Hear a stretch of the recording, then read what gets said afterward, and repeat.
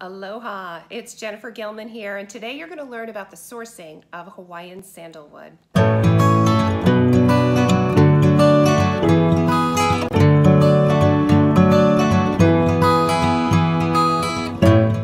I'm here on the Big Island, actually with the doTERRA group. I won the doTERRA incentive trip again this year, and this year I got to go see the sandalwood farm. So a couple days ago, we all went up to the sandalwood farm in different waves, actually, and it's called, um, it's actually called the Kia Lake Kua.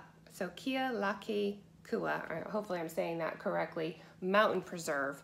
And doTERRA bought 9,600 acres and they're working with the government with a massive reforestation program. And as a matter of fact, it's the largest reforestation program ever seen in the entire state of Hawaii.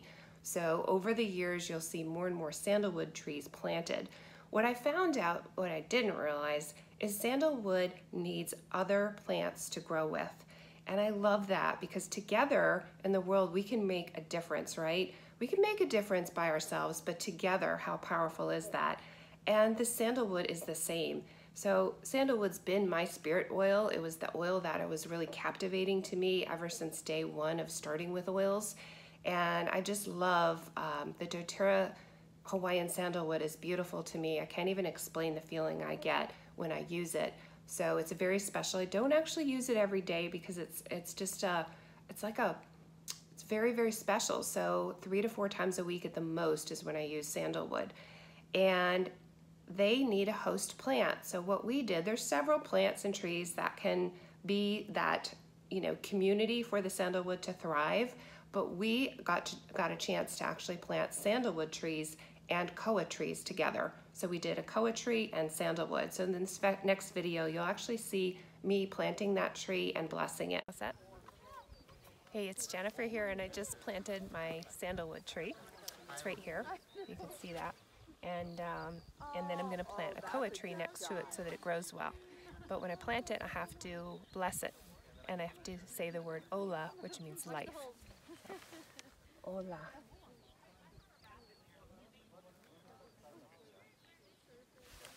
That's it. Wasn't that so cool? There's a lot of reforestation that needs to be done. So currently they are planting, planting, planting, planting. And the only way to actually get sandalwood essential oil is from the, the trees that have already fallen, the dead trees. And so that's the promise from doTERRA to the government here is that currently they're only using the wood that from the trees that are dead, that's already on the ground and they're not cutting anything. In the future, they're planning on doing some cutting, but they'll make sure that those those trees are mature. First of all, it's more important for them to be mature because it's the best oil. The oil, best oil is really in the heartwood. So we need to make sure those trees are very mature. But also the reforestation that's happening, you really only need so many trees and the massive planting that's happening right now, it's like one in 60 trees will end up being cut is what they were telling us. So that's pretty cool. This land is just gonna be reforested and the Hawaiians are just thrilled that doTERRA is here taking care of the land that at one point just got, unfortunately got stripped and there was just nothing really left here.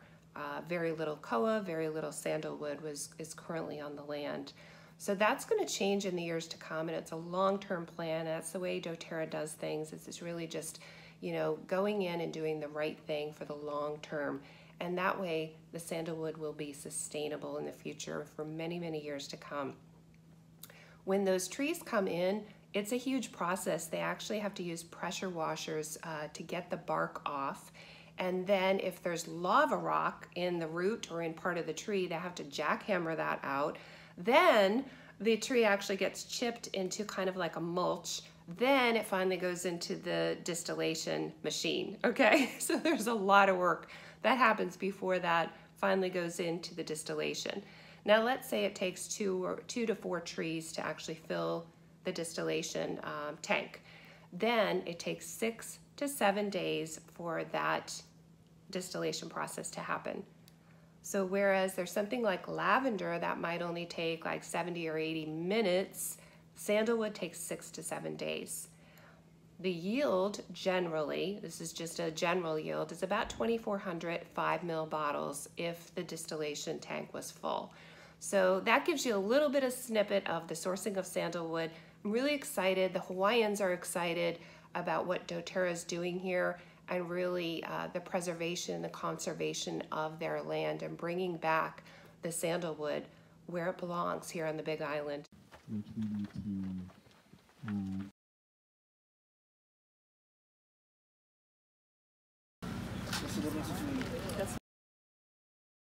So there you have it, a little more about the sourcing of Hawaiian sandalwood and being feeling uh, very sure that it's going to be around for many years to come. If you like this video, give it a thumbs up, consider subscribing to my channel, and we'll see you again next time. Bye for now.